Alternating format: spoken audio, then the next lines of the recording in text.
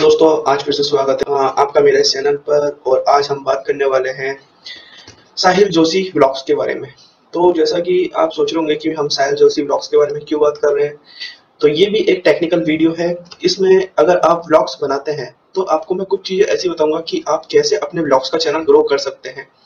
वैसे आप मेरे को बोलेंगे कि मेरे को शायद सौरभ जोशी का बनाना चाहिए बट सौरभ जोशी का ऑलरेडी इतना फ़ेमस है चैनल कि वो कोई भी वीडियो डाले, वो ऑटोमेटिक वायरल होगा ही होगा। उनका जो भाई है साहिल जोशी, उसका व्लॉग ट्रेंडिंग में गया है, अभी लेटेस्ट वाला ट्रेंडिंग में गया है तो हम यही देखेंगे कि उसका वीडियो ट्रेंडिंग में कैसे गया, क्योंकि उनका चैनल इतना अभी पॉपुलर नहीं है, इतना बड़ा नहीं है। हाँ वैसे बड़ा है बट उनका वीडियो ट्रेंडिंग में फ़र्स्ट वीडियो गया है तो हम उस पर देखेंगे कि वो वीडियो ट्रेंडिंग में जाने का रीजन क्या था, और वो किस वजह से ट्रेंडिंग में गया है।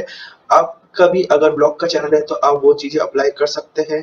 तो आइए हम उस चीज़ की तहकीकात करते हैं कि उनका वीडियो ट्रेंडिंग में कैसे गया। तो मैं आज आपको कुछ टिप्स बताने वाला हूँ और ये वीडियो भी बताने वाला हूँ। तो आप वीडियो ध्यान से देखिएगा कि मैं किस तरह से एनालाइज करता हूँ उनका चैनल तो जाते हैं हम यूट्यूब पे। यूट्यूब का पहले से मैंने खोल के रखा है। मैंने यहाँ पे सर्च करके रखा है साहिल जोशी ब्लॉग वैसे तो कॉपीराइट देंगे नहीं क्योंकि एजुकेशनल वीडियो है और एजुकेशन से संबंधित है एक तरह से। तो आ जाइए हम इनके चैनल पर जाते हैं। तो सबसे पहले इनका चैनल कर लेते हैं हम सब्सक्राइब तो सब्सक्राइब तो कर लिया हमने, अब इनके चैनल की करते हैं तहकीकात। इनका यूट्यूब चैनल है, इनका जो सबसे पहला ट्रेंडिंग में गया है, ये देखो। वीडियो का नाम है my home tour and playing piano यहाँ पे इमोजी होगा स्लैश बाय साहिल जोशी आपको एक चीज़ ध्यान रखनी है, अगर आपका यूट्यूब चैनल है और उसका जो नाम है, आपको स्लैश करके अपना नाम हमेशा लिखना है, क्योंकि बाई चांस आपकी कोई भी वीडियो वायरल होती है, किसी को दिखती है तो उस वीडियो के नीचे आपका ही वीडियो आना चाहिए। अगर आप ऐसे बाय जोशी या फिर आप, आप खुद का नाम नहीं लिखते हैं तो आपकी वीडियो के नीचे किसी और की वीडियो आ जाएगी। तो आप खुद का नाम ज़रूर लिखिए। अब देखिए सबसे पहले इनका थंबनेल इनके थंबनेल में देखिए इन्होंने दिखा रखा देखो थम थंबनेल आदि वीडियो की स्टोरी बयान करने वाला होना चाहिए। अब देखो इनका थंबनेल में सबसे पहले इनका फेस आ जाता है जो बिल्कुल क्लियर दिख रहा है साहिल जोशी का। अब देखो ये यहाँ पे इनका फेस क्लियर नहीं दिख रहा है बट यहाँ पे इनका फेस क्लियर दिख रहा है। उसमें ये पता चल रहा है कि इनका वीडियो है। अगर कोई इनका चैनल का नाम भी नहीं दिखता थंबनेल भी नहीं वो नाम भी नहीं दिखता टाइटल भी नहीं दिखता। तो इनके थंबनेल से वो ये देख सकता हाँ भाई, ये सोहे साहिल जोशी का चैनल है। तो देखिए, यहाँ पे इनका फ़ोटो एक पूरी तरह से क्लियर आ रही है। ये तो आप सबसे पहले मेन चीज़ होगी अब पीछे बैकग्राउंड में देखो, ये ये जो पिक्चर है ना, ये वाली पिक्चर ये जो पिक्चर ये जो इनका चेहरा आ रहा है, ये अलग से पीएनजी काट के लगाई गई है, अलग से। ये इस फ़ोटो में थी नहीं। और जो फ़ोटो ओरिजिनल है, वो ये वाली है, ठीक है? इसमें इसका पूरा सेटअप टूर का फ़ोटो खींचा हुआ अब देखो, यहाँ पे इनका पियानो आ गया। अब देखो, यहाँ पे लिखा my home tour and playing piano.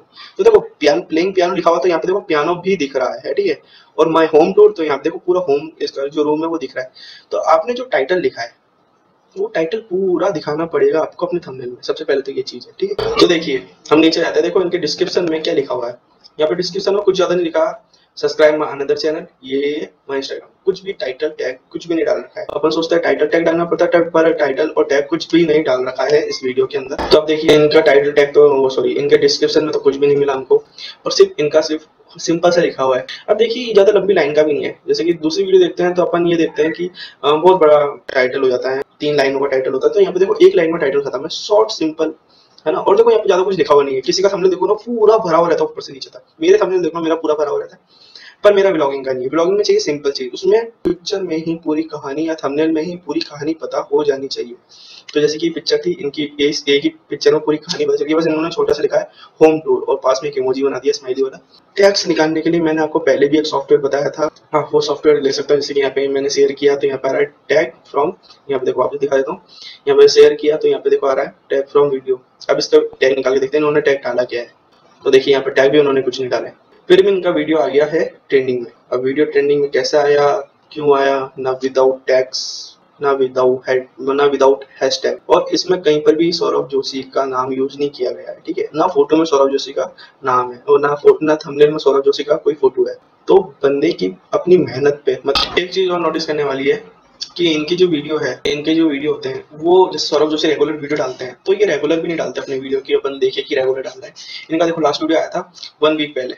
एक वीक पहले आया था और उससे पहले भी टू वीक पहले। और उससे पहले टू वीक मतलब ये रेगुलर नहीं डालते वीकली डालते हैं पाँच छह दिन में एक बार डालते हैं। पर इसमें सबसे ध्यान देने वाली आपने चीज़ अभी तक नहीं देखी।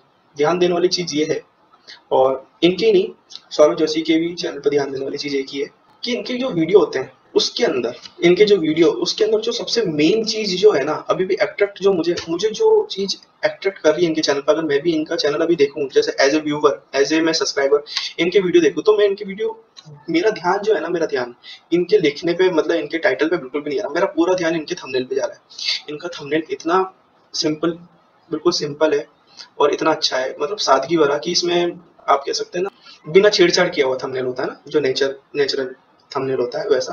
तो सिर्फ़ एक्सप्लेन करने के लिए जैसे कि जो, ये जो पूरी लाइन है gameplay video slash PlayStation slash Sahil Joshi अब ये पूरे जो पूरी लाइन है ना, इसका पूरी लाइन का एक मतलब क्या बोलता है? प्लेइंग प्ले स्टेशन ठीक है? गेम प्ले जो भी अपने थंबनेल में लिखते हैं। अब देखो, इनकी पूरी लाइन है gameplay video PlayStation और इनका नाम वाई बाय साहिल जोशी तो ये पूरी पूरी लाइन एक ही वर्ड में कन्वर्ट करके PlayStation playing PlayStation लिखा हुआ है यहाँ पे। तो ये पूरी लाइन एक ही वर्ड में कन्वर्ट हो चुकी है। तो यहाँ पे ज़्यादा लिखने को भी नहीं बचा, ठीक है? और देखो इनका थंबनेल बिल्कुल सिंपल है। थोड़ा सा एडिट किया हुआ है इसको कलर करेक्शन किया हुआ है इसका। अब यहाँ पे जाते हैं। My home tour and piano तो यहाँ पे भी देखो, एक छोटी सी पिक है। इसके अंदर फेस नहीं दिख रहा था, ढंग से तो फेस डाल दिया। यहाँ पे होम टूर लिख दिया एक ही वर्ड में। नीचे वाली पिक्स में जाते यहाँ पे तो कुछ लिखा हुआ नहीं है। चलो ठीक है, यहाँ पे ये देख सकते हैं कि यहाँ पे सौरभ जोशी था यहाँ पे तो ज़्यादा व्यू आ गया उस वजह से, ठीक है? अब देखो, ज़्यादातर इनकी वीडियो देखोगे ना, कुछ भी ज़्यादा नहीं लिखा हुआ। देख आप?